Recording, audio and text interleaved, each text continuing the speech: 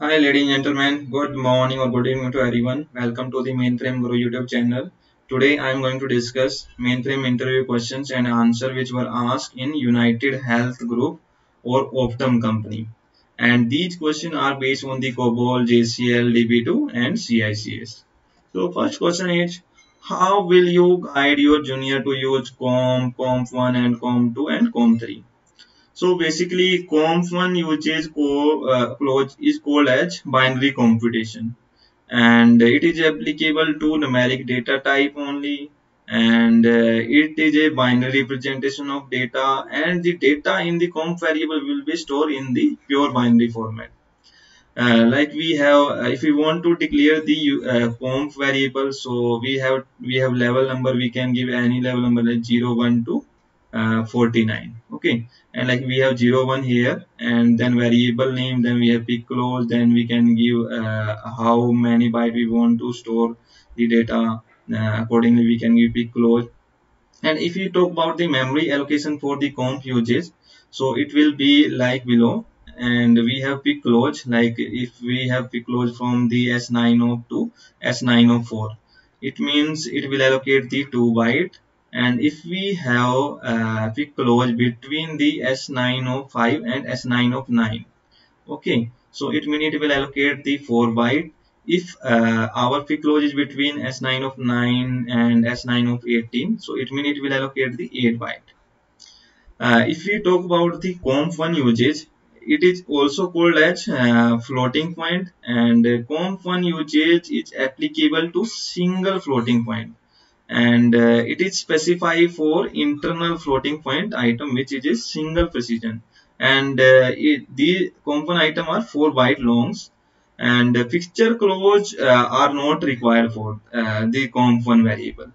Comp1 allows sign floating point item where the sign will store on the leftmost byte means first bit which is allocated to exponent and in the uh, 4 byte leftmost 8 bit to store exponent and remaining 24 bits store the mantissa comp1 uh, memory allocation will be uh, like that. Like we have uh, we have edge, edge presumption we have PIC clause like that as 9 of 16 it is uh, one word you can see.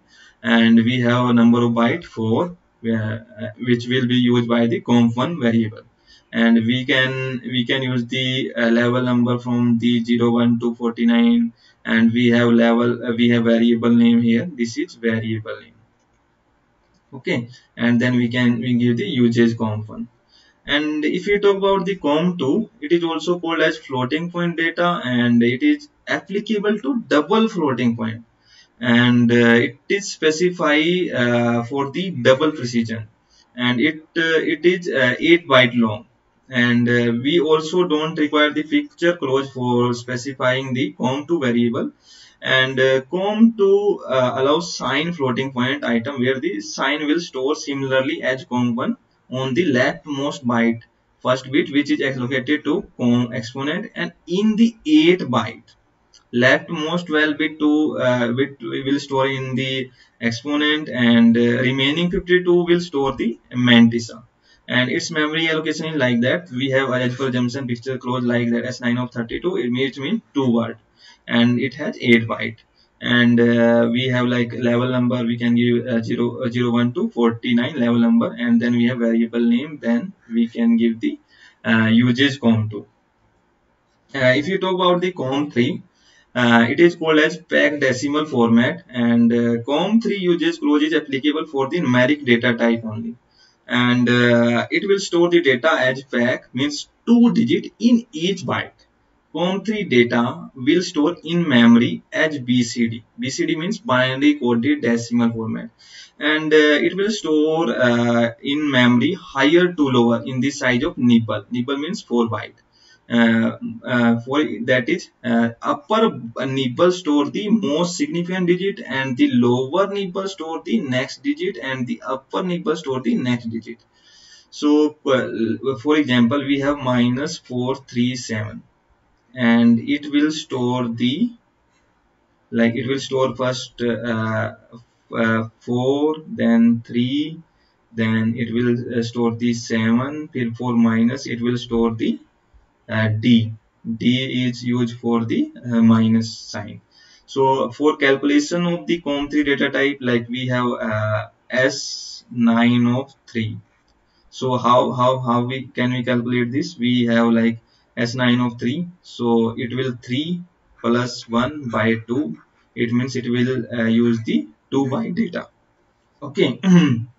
and we have like picture clause uh, 9 9 here so it will we have picture clause 9 and it will store the half byte you can see. And the next question is what are differences between join and union?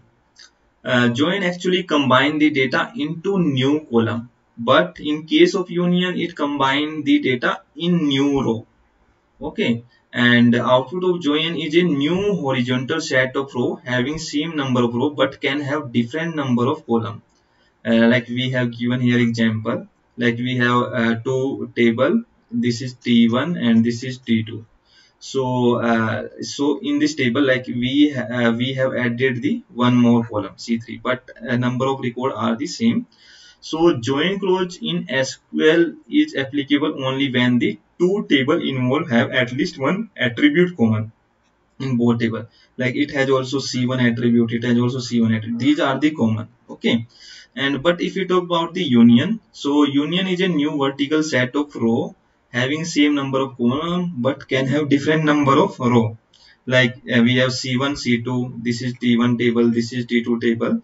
So like these data will be uh, come into the row. Like you can see uh, this is coming like that okay and uh, union in SQL is applicable when the two table have the same number of attribute and the domain of corresponding attribute are also same. And we have uh, various type of join like self join inner join left outer join right outer join full outer join. But we have two type of union only. One is union and another another is union all and join will not remove the duplicate row from the result. But union will remove the duplicate row from the result. And next question is if we do not use commit in the COBOL DB2 for query then what will happen? If the program end normally it means uncommitted work is committed automatically. But if our program abandon it means uh, uncommitted work is rollback it means our updated data will not save. Will not save means our updated data will not save. And uh, next question is what is primary key and unique index in db2 actually primary key is a column of table which uniquely identify each row in that table. Primary key uh, enforce integrity constraint to the table. Only one primary key is allowed to use in a table.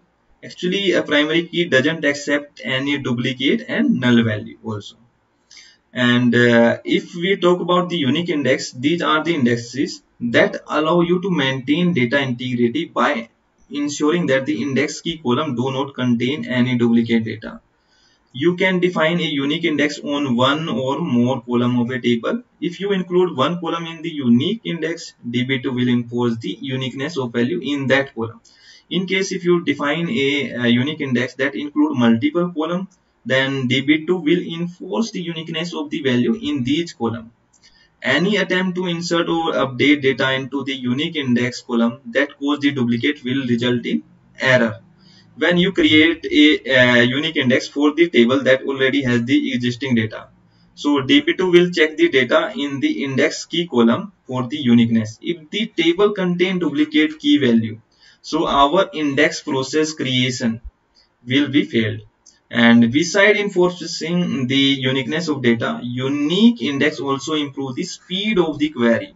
That involve the index key column we can create the index like that create unique index and index name on this table and then we can give the column column name. And typically uh, null is not equal to itself. So, uh, however unique index treat null value equally so if a unique index has one uh, column this column can have one null only if in case unique index has multiple column it means these column will have only one row that has null in every column. Next question is what are the reason for SOC4 abend? Uh, uh, we, we actually called it as a protection protection exception. So first reason is read or write attempt to unopen file. Means uh, we have not opened the file but we are trying to read and write the file. And uh, bad subscript or index it means addressability issue. When you trying to move a larger variable to a smaller variable. And next is missing select statement. Means uh, during compile time we if we have missed this select statement then it also uh, give us so for uh, band. And missing parameter in the uh, subprogram and then we are moving the data from the unopened file or we are uh, reading the data from the unopened file. So it will give us soak for band. Next question is what is null indicator and its data type? A db2 null indicator actually represent missing or unknown information at the column level so S904 comp, 5, uh, comp is the uh, fixture clause of a null indicator.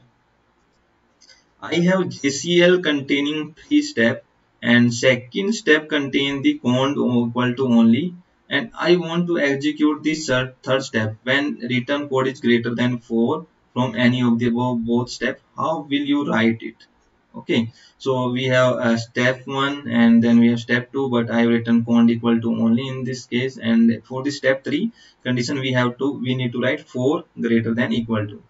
Uh, step 3 will be bypass. If the return code of step 3 is less than or return equal to 4 okay.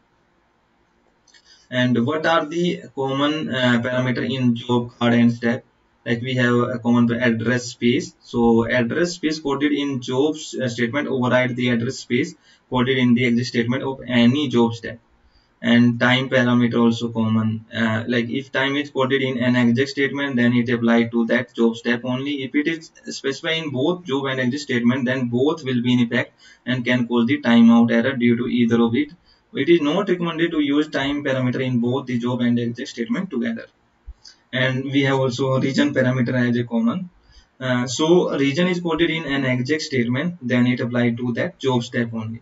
If uh, region coded in job uh, statement then it will override the region coded in the exec statement of any job step.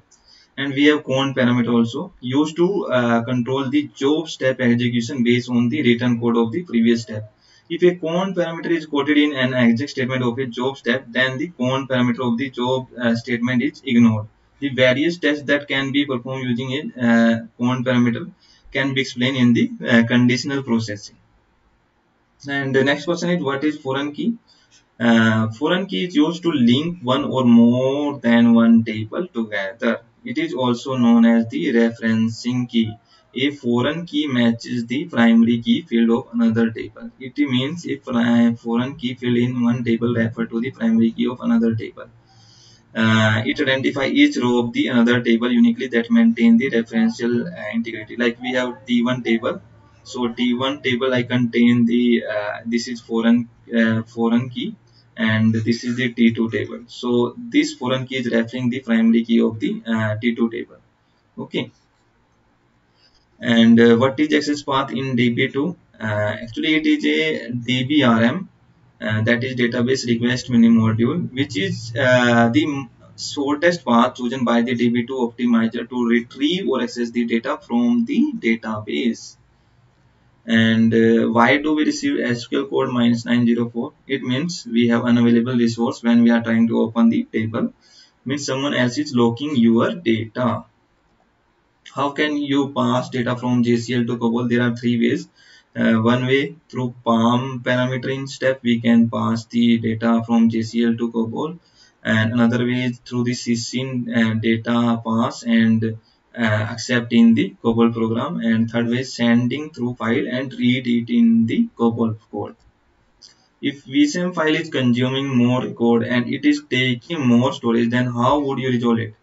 Increase the primary and secondary cylinder for the VSAM file and give parameter owner for enhancing we give the give parameter IAM for enhancing its performance and storage at some in some project in some uh, application you can say and it also if we save the file on tape also it will uh, it will yeah it will it will its size will also uh, it will store it and uh, uh, if like we have volume also volume part also play a here at means at which volume how how many cylinder how much space is available. Okay. And uh, next question is added one more field in CICS map. How would you handle it? I have a existing map for the same map. I am adding a new field what thing I have to take care and what are the steps in executing this new map that added new field like if you change or add input output field you will of course have to change your program logic for those field.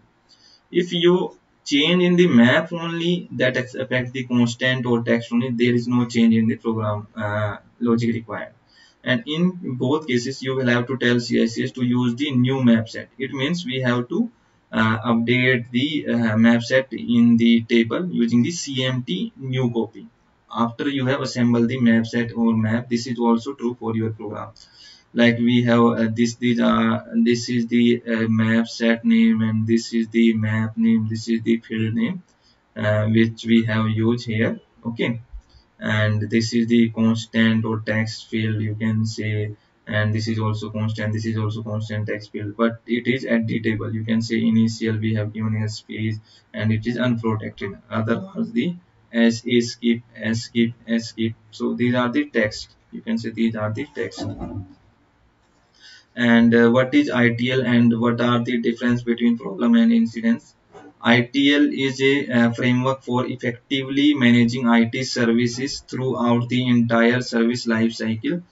The ITIL uh, framework actually manages the uh, five stages of the IT services. Uh, services name are uh, five five stages. Means uh, service strategy and then service design then service transition then service operation and uh, next is continual service improvement. As ITIL define what is a problem it is actually a cause or potential cause of one or more incident. And the next question is what is a, an incident? And it is a single unplanned event that causes service disruption disruption and how will you find the record length of each record in a VB file? So RDW contain the record length of a VB record. You can use the following code to get the length of individual record in VB file. Like we have the FD section here. This recording mode is v variable format file. And then we have the record is varying in size from 20 to 180 characters depending on variable 01 then we have the variable name input rack pick x of 180 variable 01 in the depending on phase must be an elementary unsigned integer data item declared in the working storage section. And when a record is read from the file and it is defined with record is varying in size depending on the size of the record buffer is moved into the uh, variable to write a uh, record to a variable length file we need to uh, with the record is varying in size depending on the phrase the size of the phrase the size of the record to be written must first be moved to the variable 01 and then write the statement must be executed. Like we have uh, we have written the uh, program here uh, that will uh, that will check the length of the each of the record. Like we have uh, this uh, file section the input one organization is sequential then file status then we have fd section and we have given here 10 to 80 byte then we have given the depending on this code length and then we have input rack and then we also define the length variable and this one and then we have an EUF and and then we have switch define. Then we open the input file then we have uh, we are reading the file until we reach the un and unread then we are reading read input file set uh, at end uh, unread to true. And then not at end we are displaying the uh, variable uh, data and then we are displaying the length. Like we have this input file and we are reading this file and like you know, in the first we are we are define we are display the record and in the next uh, next uh, next line we are uh, we are displaying the length of the record. Like we it has the 30 length so it will display 30 it has 35 so it will display 35 it has the 32 length so it will display 32 by uh, 32 length and so like that. Okay. Uh, guys uh, thank you guys. Uh, that's all from my side. If you have any question or any doubt please uh, drop that down into the below comment box. Thanks once again. Bye bye